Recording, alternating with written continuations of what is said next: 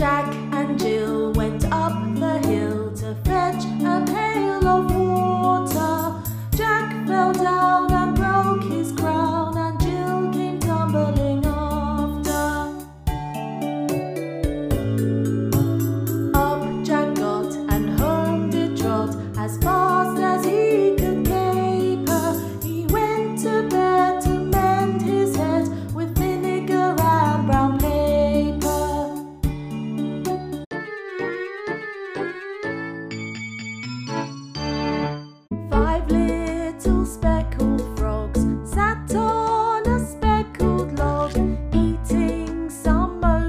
This.